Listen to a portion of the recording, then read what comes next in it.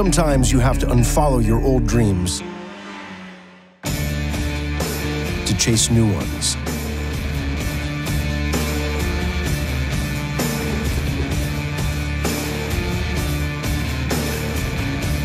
This is for the drivers, the ones who do more than defy rules, they change them.